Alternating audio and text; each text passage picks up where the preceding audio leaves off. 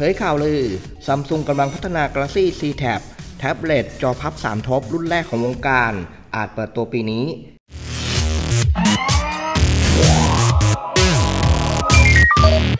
ก่อนหน้านี้ได้มีข้อมูลว่าซัมซุงกำลังจะเปิดตัวแท็บเล็ต Galaxy Tab S9 Plus อีกไม่กี่เดือนข้างหน้านี้ครับล่าสุดก็ได้มีข้อมูลว่าซัมซุงกำลังพัฒนาแท็บเล็ตที่มีชื่อว่า Galaxy C Tab อยู่ครับ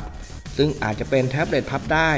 Forever รุ่นแรกของค่าย และของวงการเลยครับ ซึ่งตอนนี้ยังไม่มีข้อมูลเกี่ยวกับ Galaxy C Tab เผยออกมานะครับ แต่ก่อนหน้านี้ซัมซุง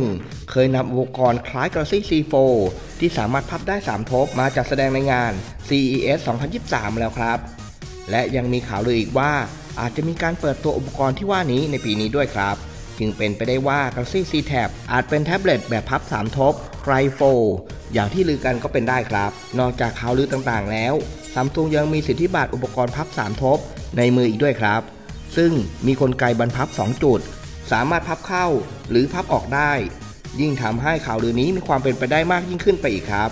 แต่ทั้งหมดนี้ยังเป็นแค่ข่าวลือเท่านั้นนะครับ ยังไงแล้วคงต้องรอดูกันต่อไปละครับ ตอนนี้ช่อง IT Fast สมัครสมาชิกได้แล้วนะครับ ใครที่ต้องการสนับสนุนช่อง IT Fast เพียงแค่เดือนละ 20 บาทเท่านั้นครับ อย่าลืมไปกดปุ่มสมัครสมาชิกกันนะครับ